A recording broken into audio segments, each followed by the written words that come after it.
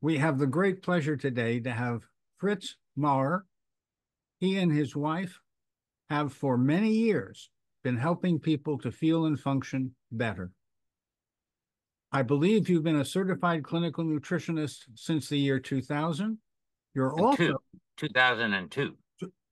Thanks yeah. for being accurate. And you're also a pharmacist. Correct. So why don't you just give out prescription medicines? Well, I, I do, do still work in a pharmacy a few days a week, but people say, How can you do that? I say, Well, it's my foot in the door. When somebody complains, I have a little different answer for them. And so that's kind of uh, you know, and it keeps you current on what things are going on and and and and things in the marketplace and what people are taking and doing to themselves. And so when they come to you and you say, well, what medicines are you taking? Then you can kind of look into, hey, you know, maybe this is causing that problem, that's causing that problem. Oh, they're giving you medicine for this and a medicine for that. My favorite's the statin drugs. That creates more medicines being used than any other medicine ever. And most people don't really want to be on them. So I tell people when you go to your doctor, look at take him every side effect that you get on there. I don't care if they're obscure. And you ask the doctor, well, doctor, I was doing a little research on cholesterol. And in 1989, before the statins came out, January 2nd, 1990, what was the number one killer in America? And they, if they're smart, they'll say, well, it was heart disease. Okay, let's fast forward 30 years to 2019 prior to COVID and what's still the number one killer? And they go, well, it's heart disease. So what if the statins fixed? Well, absolutely fixed nothing, but sold a lot more medicines, what they've done with what they block and poison in the body. Yep.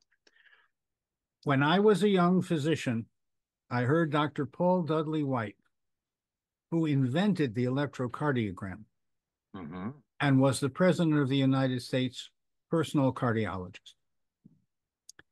He pointed out that in the 1930s, if they had one heart attack a year at Mass General Hospital, they would write up the case because it was so unusual. Wow. Just a generation or two later, it was the biggest killer of Western civilization. And he pointed out correctly that it was changes in lifestyle, not a deficiency of medicine, that has created the biggest killer of Western civilization is the consequences of obesity, inflammation, which I hope we get to mm. talk about. We will. Mm-hmm. And the consequences, including diabetes, cardiovascular disease, and autoimmunity. We are bathing in many fundamental metabolic disorders and throwing prescriptions at a lifestyle condition does not work. Proven that for years. Yes, there are about $60 billion a year of statin medicines are sold. Often people have severe side effects that either Correct. require additional medications or impair their quality of life and increase their suffering. I'm happy to tell you that I have never prescribed a statin. And the students like yourself that we have in the world know that the solution is lifestyle, nature, nurture, and wholeness, getting enough vitamins, minerals, cofactors, and omega 3 fat. And that this heals the human body. So, as do you, I take a proactive prevention approach. I want people to feel and function well because their body is repairing itself. Hmm. And for example, no part of you is more than 10 years old, and that's your bones. Large blood vessels and joints may be seven years. Much of you is new from last week. People talk about aging. Aging is a myth. Aging is too much bad and too little good. Aging is too much toxic matter and too little essential nutrients, mostly because of maldigestion, dysbiosis, stomach disorders, enteropathy, and many, many other mm-hmm. microbiome or digestion disorders. when you correct the digestion, much gets better. Exactly. And then you can see what else is needed to complete the job. Yep, exactly. Now, interesting thing, I uh, had a book. Uh, not your, I, I don't have your book, but I, but anyway, I have a book by Dr. Matthias Rath, who was Linus Pauling's understudy, and and the first, second paragraph of that book about the heart, he says, you know, animals don't get heart attacks. He says they, you know, they make they make vitamin C, and we humans don't. And he said, I'm going to say all cardiovascular disease is early stage scurvy. And I thought, well, that's really an interesting thought. And then they did a study back in the 60s in Memphis, I believe it was, where they took men and they uh, analyzed their diet. They were eating about 110 milligrams a day. They took a group with placebos, and then the other group, they gave an extra 190 milligrams. And when they all died of natural causes, they added up the months they lived and then they divided by the number of people left.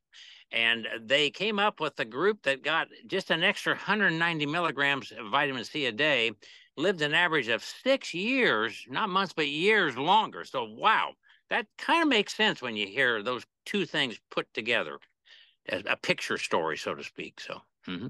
that story was told to me by Albert Szent-Györgyi, the fellow who isolated mm-hmm. nature's ascorbate from Hungarian paprika. And he says he did that because his wife, who was a very good cook, used to make chicken paprikash, which is chicken with paprika, which he did not like so I heard him say, "No, this was just this was just showing how human he is."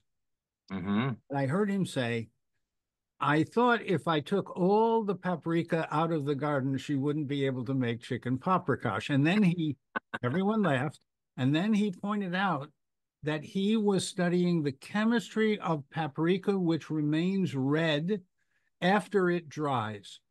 And mm-hmm. therefore, he concluded there must be a powerful reducing substance in the paprika. And ascorbate was born. He also wow. pointed out, he also pointed out that in biology, ascorbate is as important as light and oxygen. That's really, really important. That is, yeah. And we now know how to individualize nature's ascorbate intake using the C cleanse. Mm-hmm. That's right, and I do that, that with help. It helps many people. We find out how much disrepair they're in, or how much inflammation they've had over the years, and the more they need, the more disrepair they have. So, yep. And I remember you telling me at a vitamin C conference years ago in Chicago. I asked, "Well, how's it? What's the highest person you ever gave vitamin C to in a flush?" And I think you said a nurse was up over four hundred, over four hundred grams. Three hundred and twenty grams. She was a nurse who had psoriatic arthritis mm-hmm. and had been in pain for more than 20 years. Wow. And she got up to ask how much was the most that anyone needed. And I said, a lot, you know, hundreds. and she said, it took me 320. Wow. And I said, why did you persevere? Why did you continue to the cleanse, to the flush itself? She says, Doctor, I was desperate. I couldn't live my life in pain. I'm here because I'm now an advocate for what you recommend, and I want you to know it works. It does. It does. Every time people to, do it. But you have to put in a little effort. You know, th- this is mm-hmm. not something that information and inspiration is enough. You also have to put in a certain amount of perspiration, a certain amount of effort and then you throw your Repair Gard in and it makes it kind of one plus one equals more than two and uh, ever since you invented Repair Gard i have uh, been on uh, one a day and i figure like if i'm on if i'm always on offense i'm fixing things before they really get bad how can i lose the game so that's that's what i do i do well my said. vitamin c and yeah and my Repair Gard daily now if i have something going on i'll bump it up a little bit but but normally that doesn't happen very often. So recently, doing something foolish, I ended up with a black eye. Fortunately, my eye was fine, my vision was fine, but I looked like I had a black eye. Mm-hmm. I took four Repair Gard an hour while awake. In three or four days, it was mostly gone. Mm-hmm. It didn't go from blue to green to yellow to going away. It just went away. Wow. Yes, when we're in an acute situation, we might need more of the polyphenolics and more of nature's ascorbate. And we should give ourselves the self care to know how much we need, and that's how much we should take. That's right. So now we want to talk about inflammation. We've kind of been hitting on it, but now we want to talk about inflammation. Yes. So it's it's uh there's like say we discuss inflammation. There's basically acute, which is part of the healing process, and it's okay to have that for a short time. It it reminds you you need to fix that. And that's a, what pain does. God gave us pain to remind us we need to fix that. And if the pain doesn't go away, guess what? We're in what they call chronic inflammation or instead of acute inflammation. And this is where we really need to focus is in that area because that's what a lot of people in America are in due to the imbalance of our foods and our fish oils and all the wonderful things that God made to run our bodies. Um, our lifestyle and our poor diets, uh, they really contribute, like you said earlier, to all these problems. So we hope we can kind of focus on the good things that you can do to help with inflammation. So, so yes, Today, we know a lot more about nature, nurture, and wholeness. We know a lot more about inflammation really being repair deficit, and you can stimulate repair in the human body in natural and effective ways if you're willing to personalize the proactive prevention. My now, I have the opinion. Oh, go ahead. I have the oh. opinion, hmm? and you can correct me on this if I'm wrong. If somebody came in and said, I'm going to take one thing to fix myself, I would have to pick the vitamin C and say, but you have to take as much as I tell you. Is that not a correct? Well, it's it's certainly a very good place to start. Mm-hmm. And yes, start with vitamin C, but then mention that personalizing with the C cleanse right. dramatically improves everything else because ascorbate plays a role in almost every part of biology.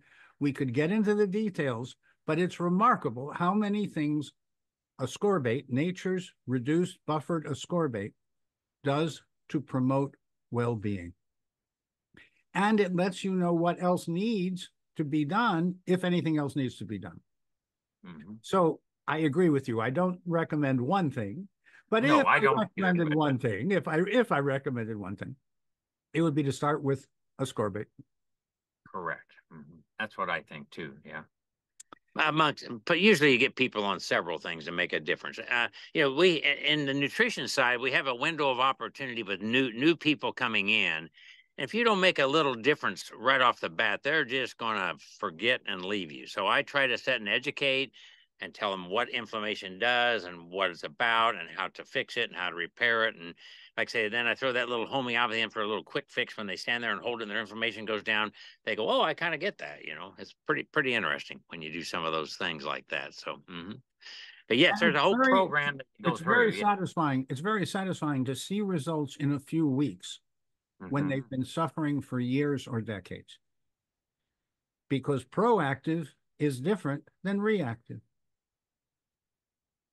Our conventional care system is symptom reactive and it's based on breaking down and patching up. I started to mention that my dad at 90 was taking many supplements, but not any prescription medicines.